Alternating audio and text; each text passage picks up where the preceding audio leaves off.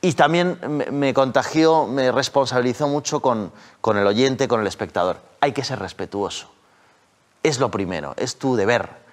No faltes el respeto, no enfades a nadie, intenta ser buena persona, porque él consideraba que para ser buen periodista había que ser una buena persona.